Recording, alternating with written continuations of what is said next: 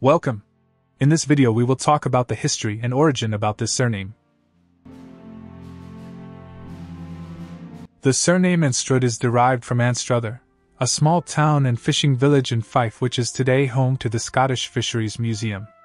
The name Anstrude is deeply rooted in the history and culture of Scotland, reflecting the family's connection to the land and its traditions. Anstruther from Scotland is deeply intertwined with the ancient barony of Anstruther in Fife. The clan derives its name from this historic location, and the family's origins can be traced back to William of Candela, a descendant of Raoul de Malherbe, a Danish noble and Viking. The Anstrude family held lands in Devon, Dorset, and Kent after the Norman conquest, showcasing their long standing presence in Scotland and England. This surname may have several different spelling variations, such as the following. The migration history of the Anstrude family is marked by the arrival of James Anstruther in Georgia in 1753.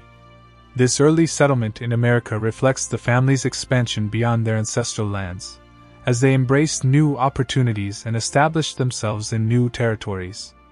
The Anstrude family's migration journey is a testament to their resilience and adaptability as they carried their heritage and traditions to new horizons.